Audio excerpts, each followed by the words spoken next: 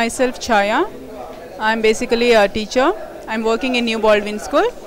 Uh, my overall experience with the DS-MAX uh, property is superb.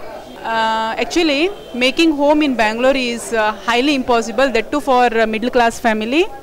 So it's a it's a dream for everybody, everyone who is um, living here. So DS-MAX has uh, made my true made my dream true. I'm really thank, thankful for the DS-MAX. And the quality what uh, DS-MAX is using is uh, is uh, very good.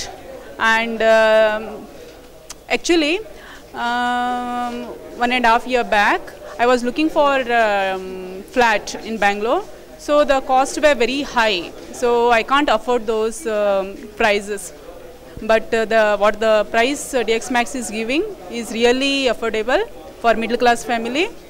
Uh, for that again I'm I will be very thankful for that and. Um, one and a half year back, I was just um, just searching in a net for the flat, which that cost what the cost, uh, what my cost, what is my basic uh, amenities and all. It should suit to the um, uh, suit to the apartments, DS-MAX.